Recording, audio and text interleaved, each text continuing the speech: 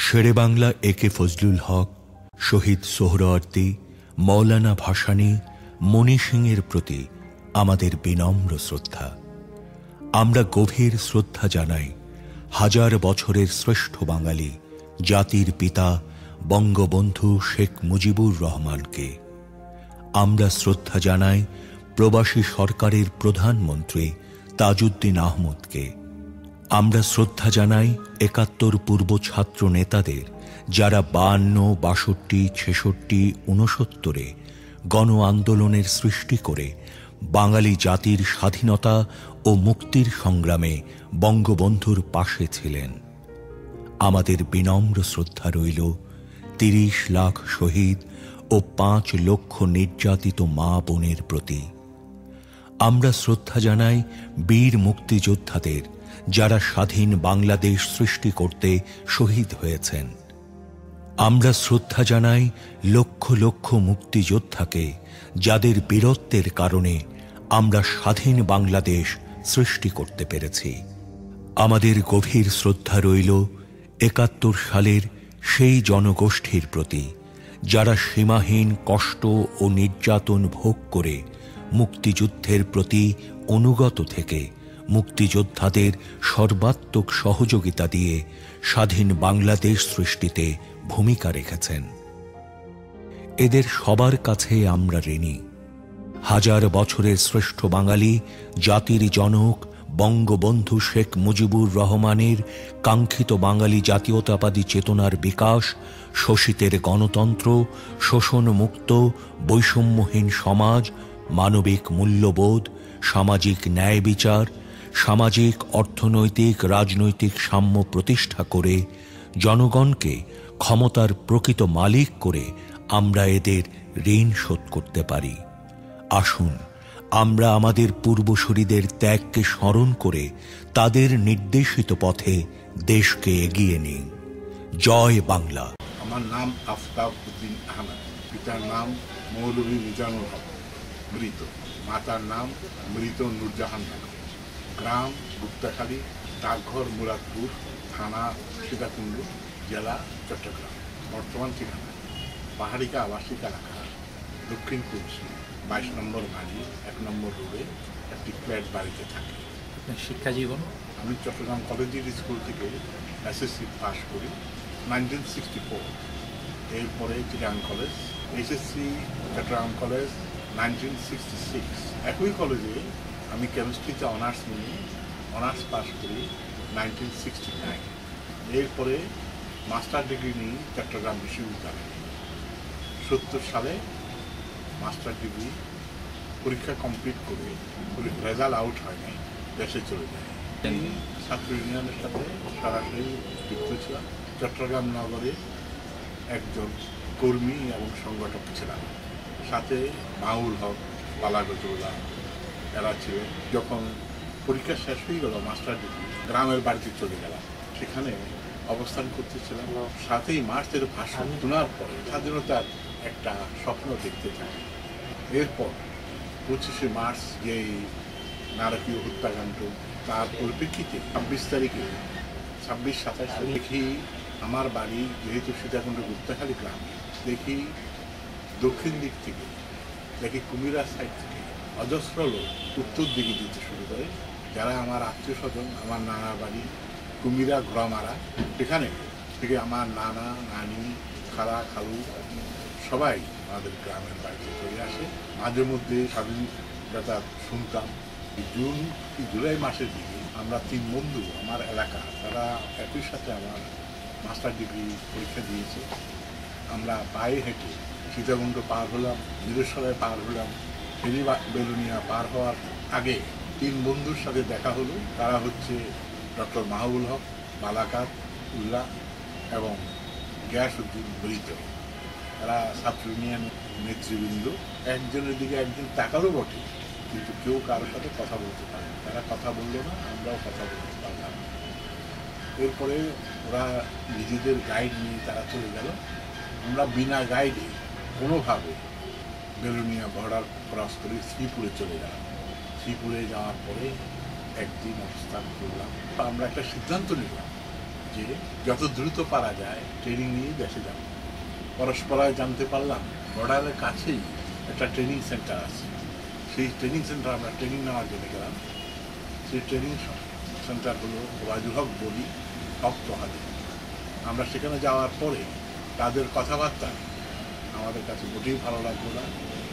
কেননা তারা সকালে যে স্পিচ দিল, তাতে তারা বলল যে এই যুদ্ধ জনযুদ্ধ, এই যুদ্ধে বুর্জুয়াদের হটাতে হবে, বঙ্গবন্ধুকে হটাতে হবে, আওয়ামী লীগকে বিচ্ছিন্ন করতে হবে, শ্রেণি সংগ্রাম করে সমাজতন্ত্র কায়েম করতে হবে। এটা আমাদের মনোভূত হলো না। আমরা সিদ্ধান্ত নিলাম যে এখানে থাকব না। তারপর দিনেই আমরা ওখান থেকে না বলেই বেরিয়ে গেলাম। বেরিয়ে গিয়ে কোনোভাবে আমরা আগরতলা সেখানে কোনো এক হোটেলে বসে চা পানি খাওয়ার পরে দুই বন্ধু হঠাৎ বলল যে তাদের এখানে ভালো লাগছে না। মা বাবার জন্য মন খারাপ। তারা দেশ দেশে ফেরত যাবে আমি হতভম্ব হয়ে গেলাম। বলো এত কষ্ট করে আসলাম? ট্রেনিং না নিয়ে চলে যাবে? বলে, না ট্রেনিং দরকার নেই। মন খুব খারাপ লাগতেছে। বাড়িতে ফিরে যাবে। তারা চলে যাবে কিছুটা হতভম্ব হয়ে দাঁড়াই আসে ইন দ্য মিন টাইম একজন ভদ্রলোক আমার গায়ে হাত দিয়ে আমার নাম ধরে ডাকলে আমি তাকালাম। তিনি আর কেউ নন, তিনি আমার কেমিস্ট্রির অধ্যাপক গুরুপদ পালিত ওর কি ব্যাপার? তুমি দাঁড়াই আসুন আমার বন্ধুরা তো চলে গেল দেশে, ওরা নাকি যুদ্ধে যাবে না? আমি কোথায় যাই? আমি তো চিন্তা করছিলাম, হরিয়ানা ক্যাম্পে যাব। সেখানে আমার ভাইরা আছে, এম এ মামুন, সীতাকুণ্ড স্কুলের হেডমাস্টার থানা আওয়ামী লীগের সভাপতি এবং ডাক্তার ক্লাস বা হরিয়ানা ক্যাম্পে আছে ওখানে যাব, চিন্তা করেছি। এখন তো একলা হয়ে গেলাম। তখন উনি একটু হেসে আমাকে বললে যে, দেখ দেখতো যাদের তুই ছাত্র ইউনিয়ন করতি তখন তুই তুই বন্ধু বান্ধবকে দেখতে নিশ্চয়ই ভালো লাগবে। তুই কাছাকাছি এখানে, এই শহরে ক্রাফট ইন্ডাস্ট্রি এটা ছিল সুদিন বর্মনের বাড়ি। তুই ওখানে যা, তুই ওদেরকে পাবি। একটা রিক্সা নিয়ে গেলাম, দেখি যে আমার সব বন্ধু সেখানে থাকলাম কয়েকদিন, খুব অসুস্থ ছিলাম। সেখানে কিছু ট্রিটমেন্ট করল লোকালি সেখানে দেখলাম বেগম মতিয়া চৌধুরী পঙ্কজ ভট্টাচার্য তারা সবাই আছে কিছুদিন পরে আমাদেরকে ট্রাকে তুললো ট্রাকে আমরা এয়ারপোর্টে চলে গেলাম যে আমাদেরকে প্লেনে তুললো কার্গো প্লেন কার্গো প্লেনে করে সেই বিশাল জার্নি। পরে জানতে পারলাম আমরা তেজপুর, আসামে তেজপুরে আসলাম। এই আসামে তেজপুরে আমাদের ট্রেনিং আরম্ভ হলো। আমাদের তখনকার দলনেতা ছিল কমরেড মঞ্জুরুল হাসান এবং বর্তমান মন্ত্রী Yasid Osman second in command সাথে আমার অন্যান্য বন্ধু বান্ধব শাহ আলম ইউসুফ এমপি ছিলেন, মারা গেছে। তারা সহ আমরা ট্রেনিং নিয়ে ঠিক মনে নাই ট্রেনিংই বা ট্রাকে করে আমরা আবার বর্ডারের এলাকায় চলে আসলাম। সেখান থেকে আমাকে উনিশ সদস্যের দলনেতা করে বলে যে তোমরা চলে যাও। যাও, তোমাদের ক্যাম্পটা হবে সেখানে। আসানুল্লাহ মাস্টার, তোমাদের কোঅর্ডিনেটর থাকবে বালাগাতুল্লাহ সেকেন্ড কমান্ড হিসেবে কোঅর্ডিনেটর থাকবে। তারা তাদের সাথে তোমরা যোগাযোগ করো। তোমাদের শেল্টার রেডি তোমরা সেখানে যাও। আমরা যখন বর্ডার পাস হচ্ছি, হঠাৎ নিজের ছোট ভাই দেখানোর সাথে দেখা। তারা একটা ট্রেনিং নিয়ে দেশে ঢুকছে। আমরা আমাদের পথে চলে গেলাম, তারা তাদের পথে চলে গেলাম মিরেশ্বরাইতে সায়ের খালি আমরা অবস্থান করলাম এক দর্জির বাড়িতে। এখানে আমাদের ফার্স্ট গ্রুপ আমরা সেকেন্ড গ্রুপ ছিলাম, আমাদের ফার্স্ট গ্রুপে ছিল আলাউদ্দিন, গোলাম সামদানি আরও অনেক। এদের সাথে দেখা হলো, সিদ্ধান্ত মোতাবেক আসানুল্লাহ মাস্টার আমাদেরকে নিয়ে গেছিলেন সবাইকে ডেকে বলবেন যে, উনি তোমাদের এখন কমান্ডার, আলাউদ্দিন সেকেন্ড কমান্ড। সবসময় তোমরা যুদ্ধের সময় হোক বা বিশ্রামের সময় হোক, নিয়ম শৃঙ্খলা মেনে তোমরা চলবে আমরা থাকলাম কিছুদিন পরে সায়েরখালী খালের পাশে শুনলাম যে রাজাকার এবং কিছু পাঞ্জাবি লোক আসতেছে। যে এইটা আমাদের প্রথম অভিজ্ঞতা। অস্ত্র তুলে নিলাম। আমাদের কাছে এমন কোনো অস্ত্র ছিল না। থ্রি নট থ্রি একটা এলএমজি একটা স্টেম এই ছিল আমাদের অস্ত্র। আমরা গিয়ে খালের ওপারে হলো তারা, এপারে হলো আমরা। আমাদের আমি আমি বলেছিলাম, আমার মনে পড়ে যে আমরা হুট করে আমরা কোনো গুলি করব না। কিন্তু আমাদের অনেক বন্ধু বান্ধব এত নার্ভাস হয়ে গেল, গুলি গুলি করব। গুলি করার সাথে সাথে ওপার থেকে ঝাঁকে ঝাঁকে গুলি আসা শুরু করি আমরাও কিছু করলাম বটে। পরবর্তীতে পিস পিসপা হয়ে ফেরত আসলাম। এটাই আমাদের প্রথম। আরেকটা অ্যাম্বুশ আমরা করেছিলাম দারোগাহাটে। মোটামুটি আমরা অনেকটা সাকসেসফুল ছিলাম। কাউকে মারতে পারছি কিনা জানি না তবে আমরা তাদেরকে ভিতরে ঢুকতে দিই এটা কোন মাসের ঘটনা? এটা নভেম্বর। এটা বোধহয় নভেম্বরের লাস্টে আর ওটা হলো অক্টোবরের প্রথম একটা কথা বলতেই হয়। আমার কমান্ডে যাদেরকে নিয়ে আমি ভারত থেকে ঢুকি। বাংলাদেশে উনিশ জনের মতো ছিল। তার মধ্যে মাত্র তিনজনই ছিল সীতাকুণ্ডের আর বাকিরা সবাই নিরসয় বেশিরভাগ সময় নিরসয়তে কাটাতে সীতাকুণ্ড মাত্র একবার আমি আসছিলাম। আমার ছোটো ভাইয়ের সাথে একবার দেখা হলো। দেখানুদ্দিন সে কমান্ডার আর বিএলএফ কমান্ডার সালাউদ্দিন ইউসিফের সাথে দেখা হলো।